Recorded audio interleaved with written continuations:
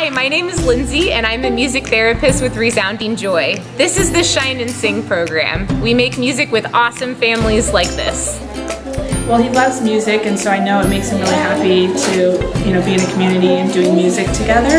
And just to get him more vocal, like he'll start singing more songs now, not complete, but you know, starting to, you know, sing on his own, which is really cool. Galilea, she's learning so many songs inside with the program and we are happy that you guys are able to, to provide that for us and it's something that makes makes us happy and she's learning so much from it. It's a, a stress reliever. It's something that I can do with my son and enjoy it. Me and him can enjoy at the same time and dance and sing together.